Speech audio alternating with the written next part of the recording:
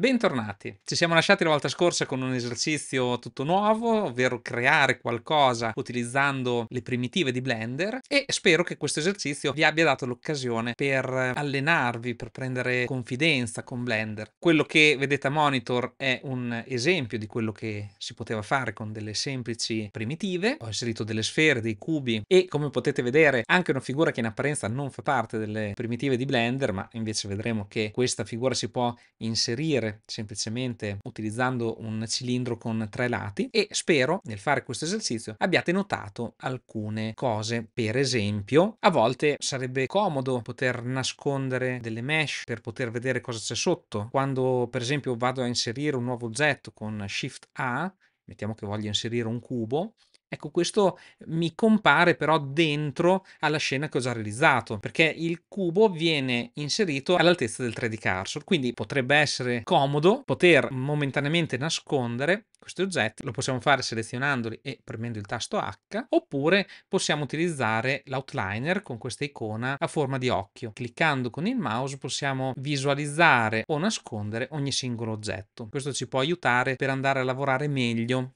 nelle zone un pochino più nascoste. Vi faccio notare, come abbiamo già detto anche in una lezione precedente, che possiamo cliccare e trascinare col mouse per applicare questa modifica a tutti gli elementi che sono nell'elenco e quindi possiamo con un gesto molto veloce andare a nascondere e rivisualizzare molto velocemente qualsiasi oggetto. Se vogliamo invece lavorare esclusivamente con l'abbreviazione della tastiera, con il tasto H nascondiamo un oggetto, con l'abbreviazione Alt H invece torniamo a rivisualizzare tutti gli oggetti che sono stati precedentemente nascosti. Però un'altra cosa che avreste potuto notare è che piuttosto che andare a inserire il cubo per poi andare a cercarlo in mezzo agli altri oggetti, avremmo potuto semplicemente far comparire il cubo in un'altra posizione, per esempio fuori da queste sfere che sono già state inserite all'interno della nostra scena. Come fare? Bisogna spostare il 3D cursor.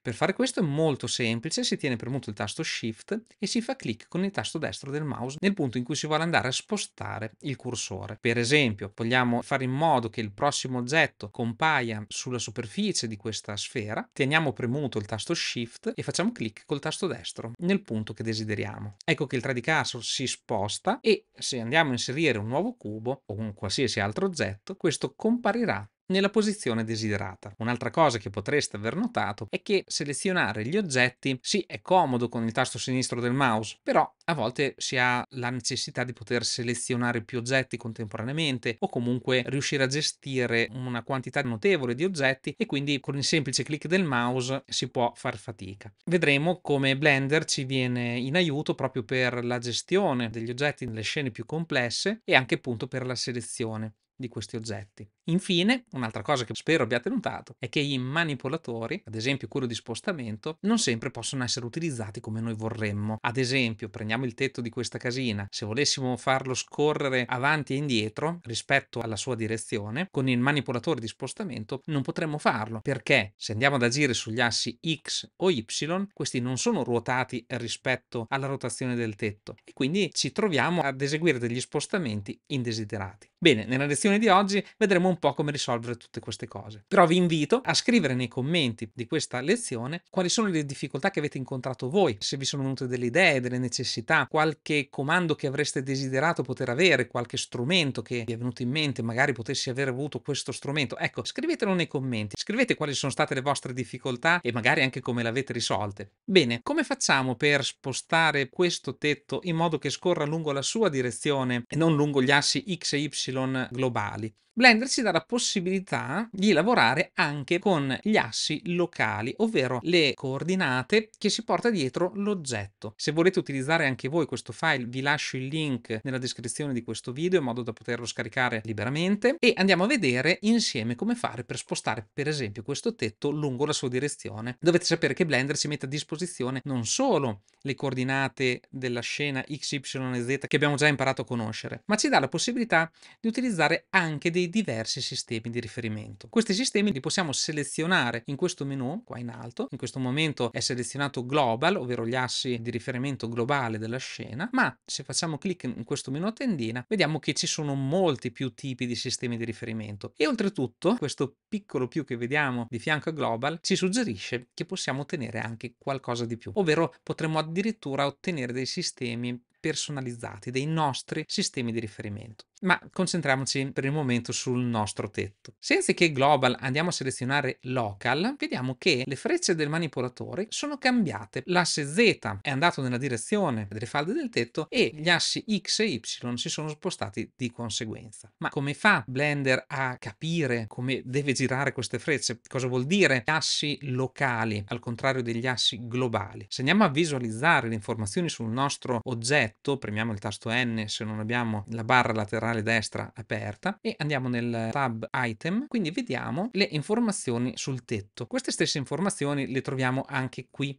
all'interno del pannello object della finestra delle properties. Io preferisco utilizzare la barra laterale destra perché così sono libero di poter visualizzare contemporaneamente anche altre informazioni in questa finestra a parte. Comunque siete liberi di utilizzare tranquillamente anche questo editor. Vediamo che questo oggetto risulta ruotato lungo la sull'asse X di meno 90 gradi, lungo l'asse Y di 180 gradi, mentre sull'asse Z di 57,798 gradi. È grazie a questi numeri che Blender capisce come l'oggetto è ruotato e quindi quando noi andiamo a dire utilizza gli assi locali, lui ricava le informazioni sulla posizione delle frecce proprio da questa terna di valori di rotazione. Quindi adesso, una volta abilitato il sistema di riferimento locale, potremmo tranquillamente far scorrere il nostro tetto in avanti e indietro, destra e sinistra, in maniera molto semplice. Anche nel caso dell'applicazione della scala può essere utile, almeno visivamente, avere gli assi locali per poter capire come stiamo allargando, stringendo la nostra figura seguendo la sua geometria. Un altro esempio dell'utilità degli assi locali lo possiamo vedere andando a realizzare le finestre di questa casa. Potremmo semplicemente utilizzare questo cubo, lo duplichiamo con Shift D, quindi lo scaliamo e andiamo a posizionare la mesh come se fosse una finestra. Se non avessimo avuto a disposizione gli assi locali, questo sarebbe stato un lavoro molto più difficile. Facciamo una prova, torniamo agli assi globali, quindi duplichiamo il nostro cubo, lo scaliamo e adesso se vogliamo andare a posizionarlo sulla facciata della nostra casetta, sì, ci possiamo anche riuscire, ma non è assolutamente una cosa così banale, perché non possiamo utilizzare direttamente le frecce, dobbiamo andare un po' per tentativi, mentre invece passando agli assi locali il gioco diventa molto molto più semplice. Per chi invece preferisce utilizzare lo spostamento, la scala o la rotazione esclusivamente tramite le abbreviazioni da tastiera, c'è la possibilità comunque di spostarsi sugli assi globali o locali. Facciamo una prova, rimettiamoci nel sistema di riferimento globale, quindi andiamo a duplicare nuovamente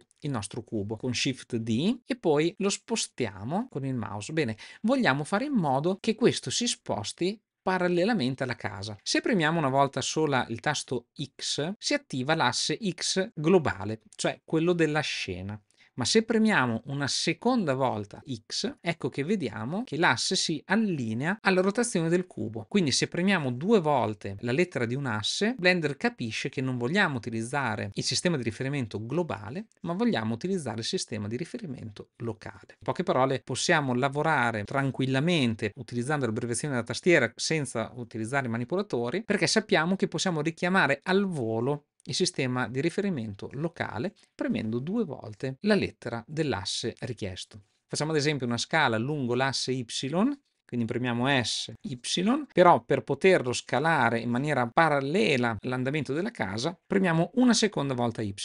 Ed ecco che adesso la scala avviene nella direzione desiderata. Fate qualche prova, fate qualche esperimento liberamente. Bene, Vediamo adesso come Blender ci aiuta invece a selezionare gli oggetti. Abbiamo visto che possiamo selezionarne uno alla volta e con il tasto Shift, come faremo in qualsiasi altro software, possiamo aggiungere oggetti alla selezione. Quindi se noi facciamo clic tenendo premuto il tasto Shift, gli oggetti si sommano alla selezione. E l'ultimo oggetto selezionato avrà sempre questo contorno arancione più chiaro, che vuol dire che è l'oggetto attivo, l'ultimo oggetto selezionato. Vedremo poi più avanti l'importanza di questo oggetto. Tuttavia questo potrebbe non essere il sistema di selezione più veloce. Vediamo cos'altro ci viene dato a disposizione. Quando si parla di selezione parliamo proprio dell'ABC. Sono tre lettere che possiamo utilizzare per selezionare in Blender. Con il tasto A si seleziona tutto. Facciamoli insieme. Vedete, si sono selezionati tutti gli oggetti della scena e lo vediamo anche all'interno dell'outliner. Per deselezionare tutto, premiamo due volte il tasto A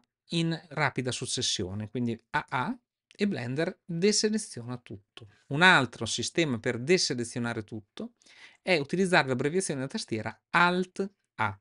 Con il tasto B si va a richiamare la selezione mediante finestra. Vedete che si è attivata una croce e questo ci consente di tracciare, trascinando con il mouse, una finestra di selezione che ci va a prendere tutti gli oggetti che vengono intersecati o che sono compresi all'interno della finestra. Vi invito inoltre, come in tutti i comandi di Blender, a vedere quali sono le opzioni che ci vengono messe a disposizione durante l'esecuzione del comando in basso a sinistra. Fate sempre qualche esperimento. Infine abbiamo il tasto C. Col tasto C viene visualizzato un cursore che può essere ingrandito o ridotto tramite la rotella del mouse e con questo cursore possiamo andare a cliccare trascinando, pennellando come se fosse un pennello che va a selezionare tutto ciò che viene toccato. Anche in questo caso in basso a sinistra vediamo tutte le varie opzioni. L'equivalente dei tasti A, B e C li troviamo qui sulla sinistra nella tool shelf. Se facciamo clic otteniamo la selezione tramite riquadro, non si vede il cursore a croce ma il riquadro è diciamo attivo di default. Se clicchiamo e teniamo premuto vediamo anche gli altri tipi di selezione ovvero la selezione circolare oppure la selezione mediante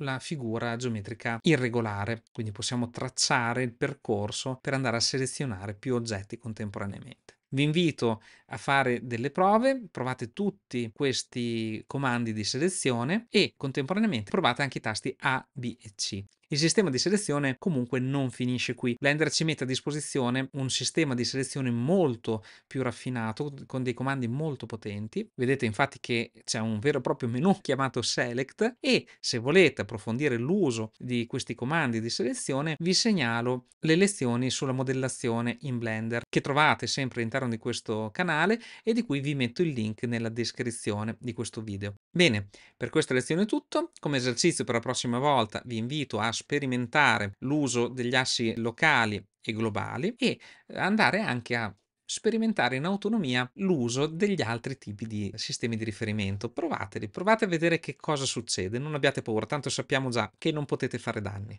Un'altra cosa che vi invito a sperimentare sono i sistemi di selezione e se avete piacere di andare a vedere anche le lezioni di cui vi metto il link nella descrizione del video proprio che vanno a trattare in maniera più approfondita i sistemi di selezione in Blender. Come sempre vi ringrazio per avermi seguito e ci rivediamo presto.